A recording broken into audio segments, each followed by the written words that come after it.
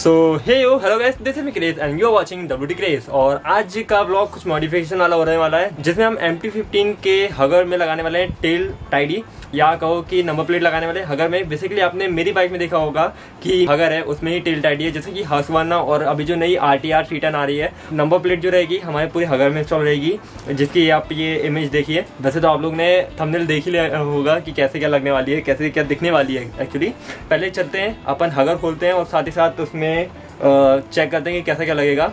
और, उसके बाद मैं आगे का कंटिन्यू करता हूँ।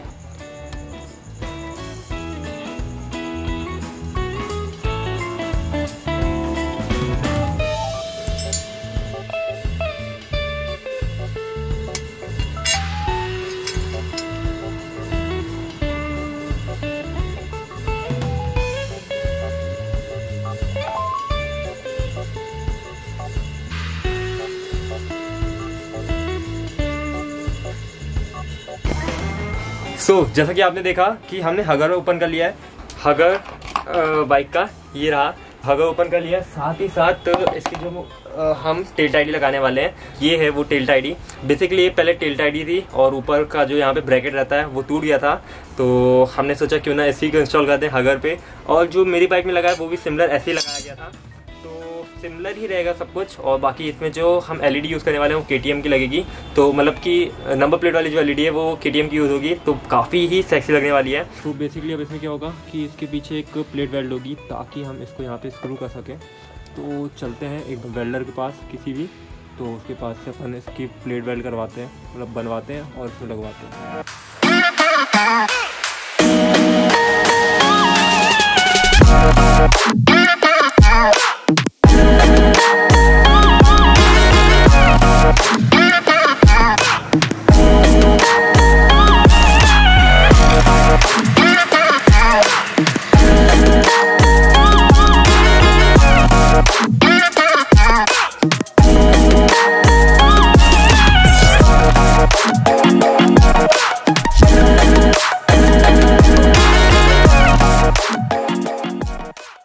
गाइस ऐसी लग रही है कुछ हमारी टिल्ट आईडी और इसमें बस एलईडी लगा रहा था मैं ये नंबर प्लेट के लिए। बाकी इंडिकेटर जेरेस्टाना वाले हैं। मतलब कि है तो होंडा हॉर्नेट के ही, लेकिन दिखते जेरेस्टाना जैसे हैं। ये रहा हमारा अगर और अगर का कैसे कि देखो, यहाँ पे मैंने दो होल किए हैं, ताकि इसको मैं लगा सकूँ। ये जो पीछे दो हैं तो ऐसे एंगल वेल्ड करवा लिया, ताकि मैं उसमें इसको फिक्स कर सकूँ। फिर मैंने इधर से कुछ तारें निकाली हैं। इंडिकेटर्स के लिए और ये लगेगा इसमें जाके प्लग में। सो so, बस सिंपल है। ये वाले वायर जाएँगे इस प्लग में जो कि इंडिकेटर से कनेक्टेड रहेगा।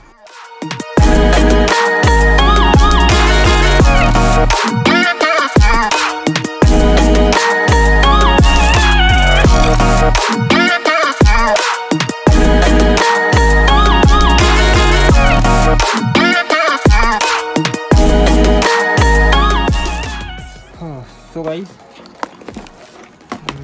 सो गाइस आप लोग को इसमें तीन कनेक्शन दिख रहे होंगे। मतलब कि दो इंडिकेटर और एक एलईडी दिख रही होगी। बट मैंने जो वायर यूज़ किया हूँ, वो चार ही हैं। बिकॉज़ जो इसमें ग्रीन वाली वायर है, ये मैं यूज़ कर रहा हूँ एज अ नेगेटिव मतलब ये नेगेटिव जो है, वो कॉमन वायर हो जाएगा। मतलब कि इन सब का जो नेगेटिव रहेगा, वो इससे कनेक्ट हो जाएगा। बाकी ये जो तीन वायर हैं, एक वायर जाएगी इसके पॉजिटिव में और एक वायर जाएगी इसके पॉजिटिव और एक वायर जाएगी इसके पॉजिटिव ताकि हम कम वायर लेके मतलब कि, क्योंकि मुझे यहाँ से मतलब इसके हगल से पूरे निकाल के, जो टायर के स्विंग आर्म से निकाल के, फिर उसके बाद कनेक्शन करेंगे। सो जितनी ज़्यादा वायर रहेंगे, उतना ज़्यादा मोटा उसकी वायरिंग का कॉर्ड रहेगा। तो इसलिए मैं इसमें सिर्फ़ चार वायर यूज़ कर रहा हूँ। बाकी इससे कोई दिक्कत नहीं है। काम ऐसे ही होता है इधर पे। तो इसका जल्दी से कनेक्शन करते हैं। सो ये वाला ग्रीन वाले का कनेक्शन सारे, ये दोनों ग्रीन और इसके नेगेटिव में लगाते हैं। बाकी का आगे दिखाता हूँ मैं। जी भाई सो सारी वायरिंग कंप्लीट हो गई है। अब इसको पीछे से पुल करते हैं और लगा देते हैं अपने अगर में।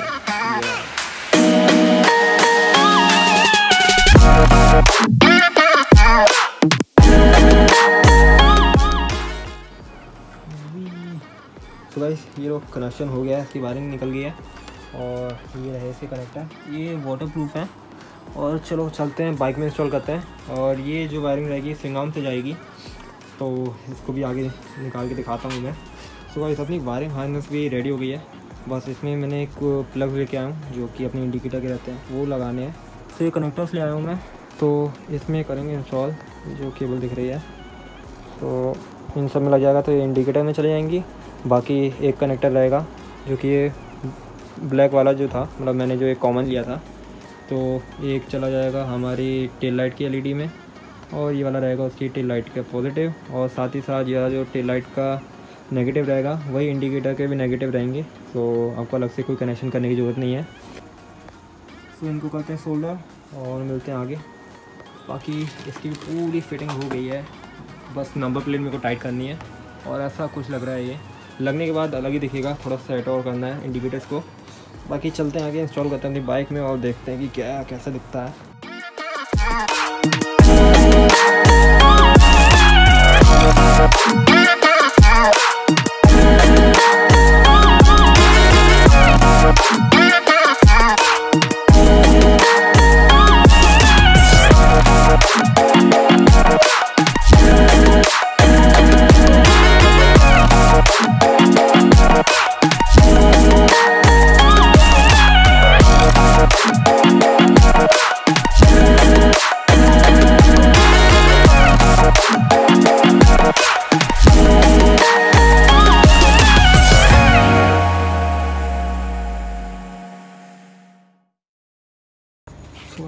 से वायरिंग कुछ ऐसी हुई है और यहाँ से सारी वायर्स आई हैं जो कि ऊपर से जाके बीच में छेद किया था।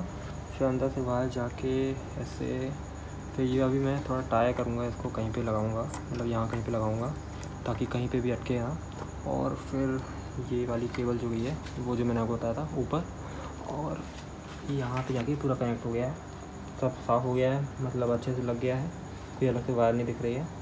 और तो इसका कवर मैंने साइड वाला खोला हूँ ताकि इसकी वायर को मैं अच्छे से लगा सकूँ, ताकि अगली बार जब मैं इसको खोलूँ तो सिर्फ़ मेरे को मतलब हगर निकालने के लिए ये दो प्लग निकालने पड़ेंगे और बस हगर निकल जाएगा। तो इजी रहेगा ये बहुत ज़्यादा। तो जल्दी से इसको मैं कवर करता हूँ और इसको भी अच्छे से लगाता हूँ। बाकी फिर मिलते हैं आपको इस बाइक के सिनेमेटिक के साथ।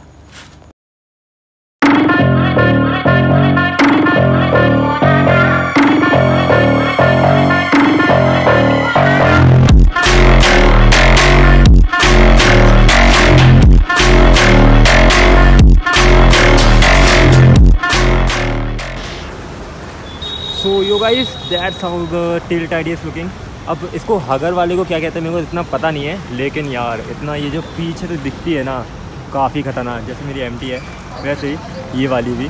क्या काफ़ी शानदार है वाली। अगर आप लोग को पसंद आई हो ये वाली वीडियो ब्लॉग पसंद आया हो तो लाइक कर देना शेयर कर देना सब्सक्राइब कर देना, और अपने फ्रेंड के साथ शेयर कर देना, और कमेंट कर देना कि कैसा क्या लग रहा है ये वाला सेटअप अपना। और काफ़ी खूबसूरत लगता है यार ये। तो मिलता हूँ एक और नए वीडियो के साथ आप लोग को। Bye bye